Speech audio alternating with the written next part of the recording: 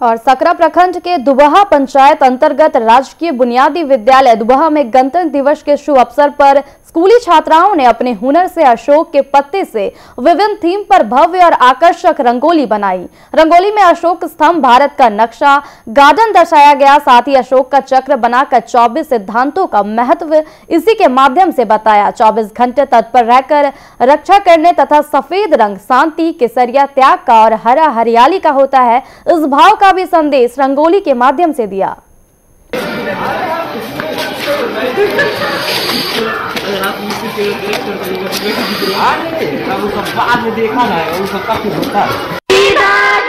है क्या बनाई है? रंगोली। रंगोली बनाई है। तो कितने घंटों में बनाई रही थी?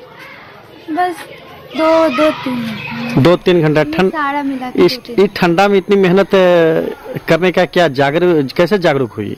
बस आ गया था छब्बीस जनवरी है तो बनाना है। अच्छा अच्छा अच्छा ये गणतंत्र